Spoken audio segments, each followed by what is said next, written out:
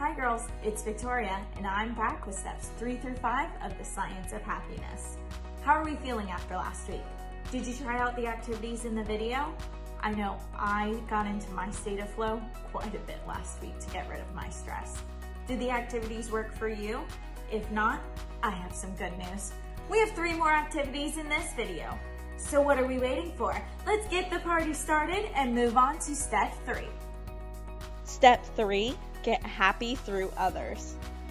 Now, my favorite activity for this step is to make a gratitude visit. But what's a gratitude visit, you ask? That's a great question. A gratitude visit is when you visit a friend, family member, troop leader, or someone who is special to you and thank them for helping you in some way.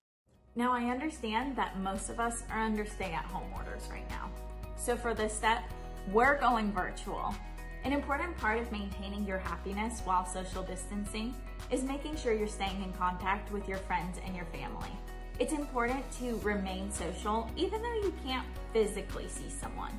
So with a parent's permission, use a virtual platform like FaceTime or Zoom to have a visit with your someone special. For my visit, I chose my mom. Say hi, Mom. Hi. Step four, do a helpful happiness experiment.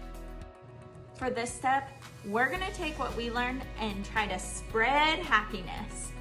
So did maybe one of the past three steps stand out to you or one of the activities work better for you?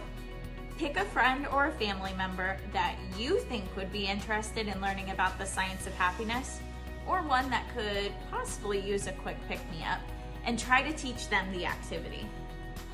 My strengths are loving, generous, dependable, positive, strong work ethic, and protective like a mama bear.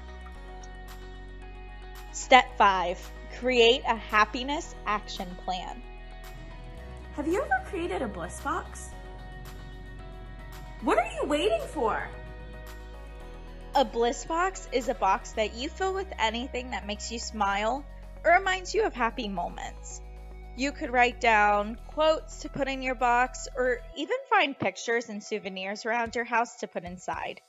Whenever you're feeling down, open your bliss box and take a look at the things you put inside.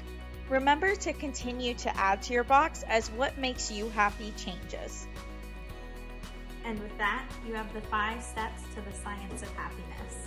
I hope that you found these activities useful in creating your happiness and that you're able to put these practices to work over the next few months.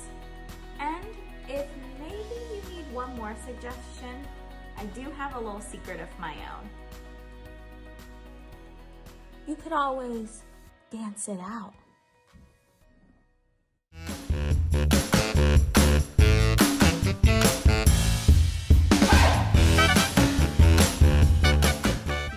Girl Scout.